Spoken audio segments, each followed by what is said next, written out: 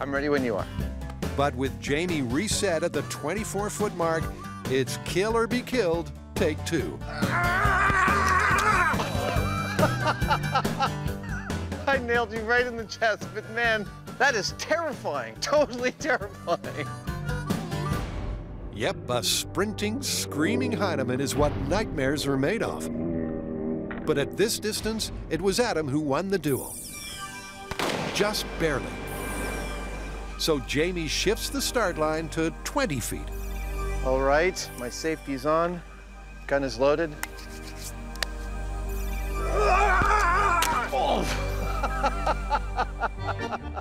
Dude, I've never heard you make that noise ever. In these face-to-face tests, I've been able to shoot Jamie at both 24 and 20 feet, although 20 feet was quite close.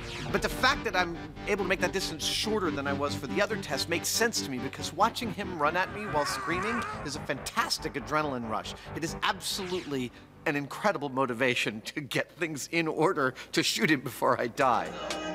But will it be motivation enough for a 16 foot showdown? By the way, I would take careful note of Jamie's shenanigans just before he runs, because I can tell psychologically he's actually trying to make me laugh and then exploit the lull in my attention just post laughing. Oh, no, no, no. It's on. Let's do it.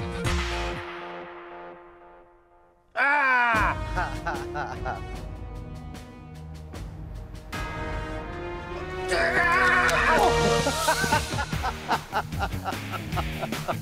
I'm dead. I touched you with the gun, but I wasn't able to fire, and you had the knife deep in my chest.